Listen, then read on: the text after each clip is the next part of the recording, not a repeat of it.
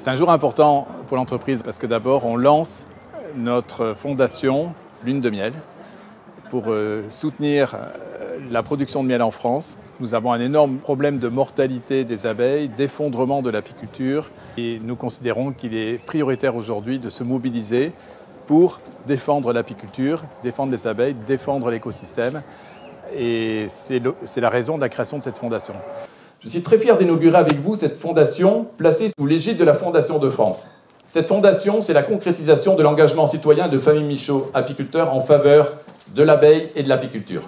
Je vous annonce d'ailleurs que la réception de tout projet est ouverte dès aujourd'hui. C'est la seule fondation dont l'objet euh, principal, voire quasi exclusif, est euh, la préservation des abeilles. Donc nous avons été contactés par l'entreprise Famille Michaud Apiculteur qui souhaitait créer cette fondation. Notre premier travail, c'est de vérifier l'éligibilité, c'est-à-dire le caractère d'intérêt général de son objet. Une fois que cette vérification est faite, on fait un travail beaucoup plus approfondi sur la détermination précise de l'objet.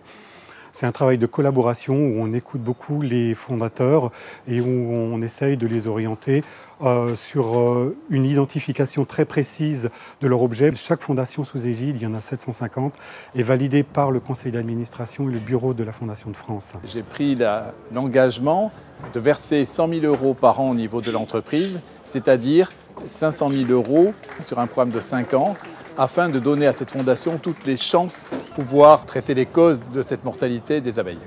La règle à la Fondation de France, c'est qu'une fondation qu'on accepte doit disposer d'un capital minimum de 200 000 euros en 5 ans. Pour nous, c'est un signe de la volonté forte de l'entreprise d'investir ce champ et de ne pas faire de la fondation simplement un objet éphémère, mais vraiment quelque chose qui s'inscrive dans le temps et euh, sur des projets qui auront un vrai impact euh, sur la question qui est posée, celle des abeilles. L'entreprise est née de l'apiculture, c'est mon grand-père qui l'a créée en 1920.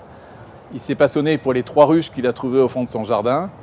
Puis vu qu'il était ingénieur de formation, il a mis au point des techniques apicoles.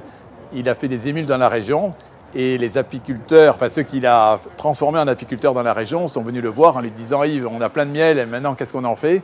Est-ce que tu ne peux pas nous l'acheter et puis euh, le mettre en pot et puis le vendre pour nous? Et c'est comme ça que l'entreprise est née, que l'une de miel est née et qu'avec du miel français de qualité, c'est dans l'ADN de l'entreprise et c'est pour ça qu'en fait l'entreprise se mobilise pour pouvoir euh, défendre l'apiculture française.